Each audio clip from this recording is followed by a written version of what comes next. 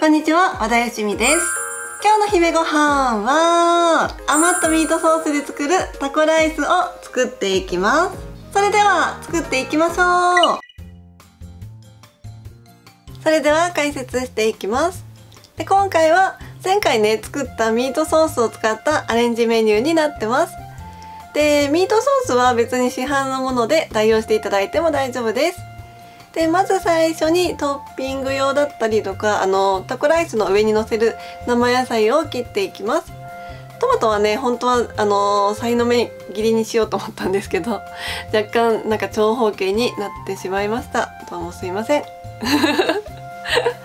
で温泉卵を作っていくんですけどあのーえーと、かぶるぐらいのお水を入れてあげて卵がかぶるぐらいのお水を入れてで箸とかでね数箇所穴を開けて電子レンジで加熱してあげると簡単に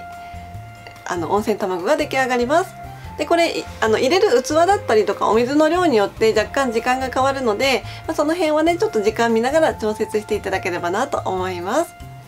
で、えー、ここでミートソースをタコライスに変えるのはもうねえっ、ー、とカレー粉とあとチリパウダーを入れてあげるだけでなんかタコライス風味になるのであのこれ混ぜるだけで出来上がります。であとはご飯の上にさっき切った生野菜とあとチーズをのせてでミートソースを味付けたミートソースをのせてで温泉卵であとはあの私これ結構好きなんですけどタコスチップスは砕いてのせてあげてあとパセリを散らして完成ですできました。では味見していきます。ではいただきます。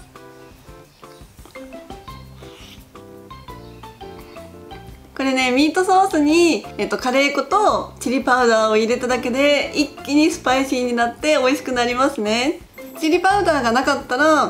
まあ、カレー粉だけでもいいしあと代わりにタバスコとか入れてあげても美味しいと思います。ぜひ作ってみてください。最後まで動画をご覧いただきましてありがとうございます。チャンネル登録よろしくお願いします。そして姫ごはんの公式 LINE アットが始まりました。今だけご登録の方に DVD の限定レシピであるフラワーボックスちらし寿司イベントの作り方動画をプレゼントしております。詳しくはコメント欄にリンクを載せておきますのでぜひぜひご登録いただけると嬉しいです。それではまたお会いしましょう。さようなら。私ねタコライスが本当に大好きでこのなんか微妙に砕いて入れるタコスチップスって美味しいですよね。タコスチップスを入れるとちょっとジャンキーな感じになるじゃないですか。それ結構好きなんですよね。